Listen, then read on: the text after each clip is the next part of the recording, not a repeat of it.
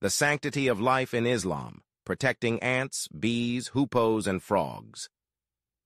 The prohibition of killing ants, bees, hoopoes, and frogs in Islam is rooted in the principles of compassion, mercy, and respect for all of God's creations.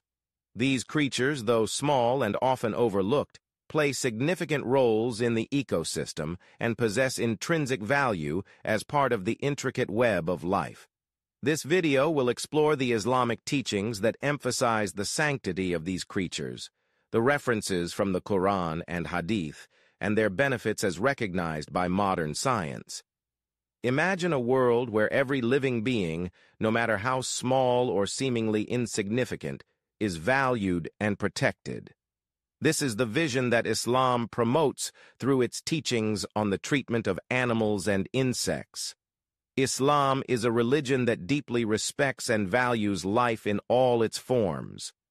The Quran and Hadith provide numerous examples and guidance on how Muslims should treat animals and the environment with kindness and consideration.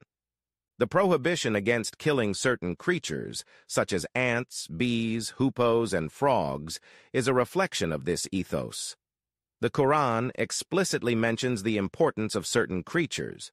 For instance, the story of the ant in Surah An-Naml, the ants, highlights the wisdom and communication skills of ants. In verses 18 and 19, it is narrated that Solomon heard an ant warning its colony about the approaching army. This story not only showcases the intelligence of ants, but also serves as a reminder of the interconnectedness of all living beings. By highlighting the ant's ability to communicate and organize, the Quran acknowledges the significance of even the smallest creatures in God's creation. Similarly, the hoopoe is mentioned in the Quran in the context of the story of Solomon and the Queen of Sheba, Surah An-Naml, verses 20 to 28. The hoopoe played a crucial role in conveying important information to Solomon, demonstrating its value and importance. The inclusion of the hoopoe in this narrative underscores the idea that every creature has a purpose and a role to play in the grand scheme of life.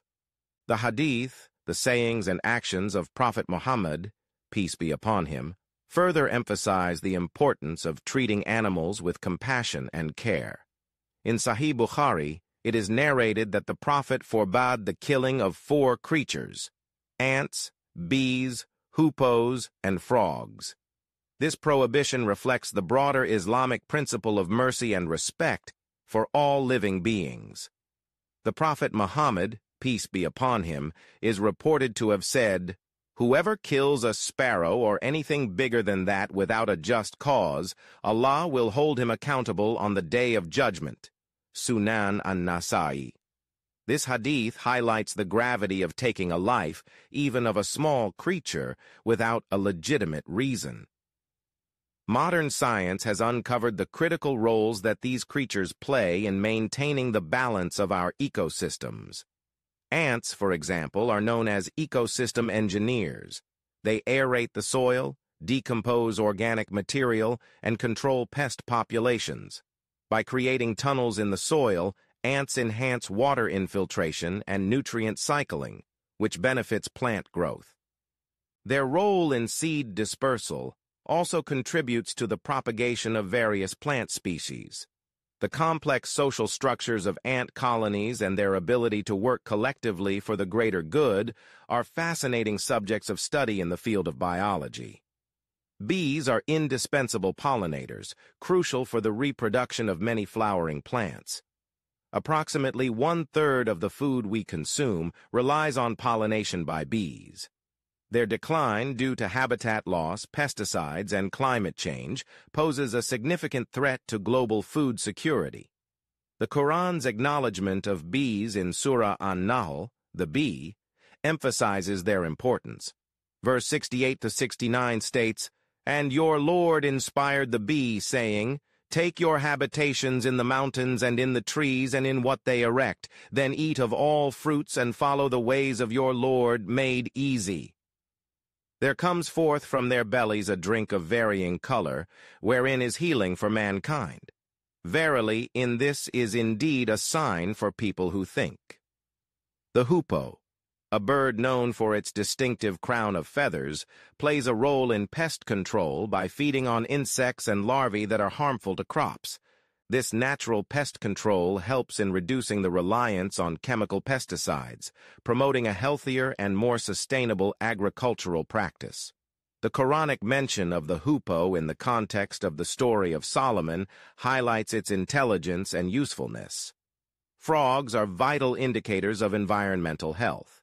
Their permeable skin makes them sensitive to changes in their surroundings, and their presence or absence can signal the health of an ecosystem. Frogs also contribute to pest control by feeding on insects, and their larvae help in controlling algae growth in water bodies. The prohibition of killing frogs, as mentioned in the Hadith, aligns with the understanding that their role in the ecosystem is crucial for maintaining balance and biodiversity.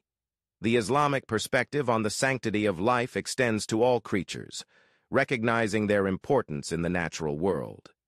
This perspective is in harmony with modern environmental ethics, which advocate for the conservation of biodiversity and the protection of endangered species.